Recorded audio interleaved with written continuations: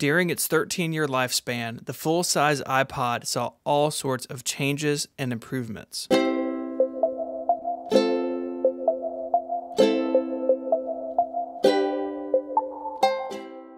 The first generation iPod featured a 5GB hard drive and a spinning control surface. I made a whole video about this player that you should go check out, but this is really where it all started a thousand songs right in your pocket. Compared to later iPods, this one is really very simple. For instance, it just used a standard Firewire 400 cable. There's no dock connector or any sort of control, just a simple cable between it and your Mac. The second generation iPod made a few small improvements over the first. It offered a larger hard drive and a cover over the FireWire port, and Apple swapped out the moving scroll wheel for a touch sensitive one. But this is where hell froze over, and Apple added iTunes support for Windows. New for 2003, the third generation iPod brought a bunch of changes. Instead of controls being placed around the circle, this iPod used four buttons underneath the display that lit up red when the backlight was on. This is the first iPod to include the dock connector. It also included the small iPod accessory port on the top next to the headphone jack. This connector would allow such accessories as this wired remote, but would be short lived as Apple would soon roll the functionality into the dock connector. In the summer of 2004, Apple introduced its most refined iPod yet. This model included the famous click wheel pioneered on the iPod mini.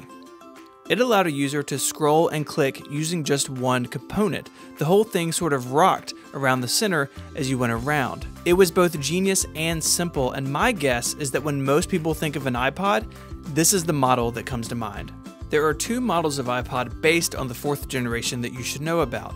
The first is the iPod Photo, the first music player from Apple to include a color screen and the ability to view photos synced over from a computer. The second is the iPod U2 Special Edition that came in a custom black and red case. In the box was a $50 iTunes gift card for the complete U2, a quote, digital box set from the band. This set off a rather weird relationship between Apple and U2 that unfortunately is still in play today. In October 2005, Apple announced the new 5th generation iPod. With now up to a 60 gigabyte hard drive, this one is special because it included a larger 2.5 inch screen. The reason for the upgrade? This iPod could play TV shows and movies purchased from the iTunes Store. In addition to the classic white look, this iPod was also available in black. In the fall of 2007, Apple renamed its full size music player the iPod Classic. The front was now made of aluminum and could be purchased in either silver or black.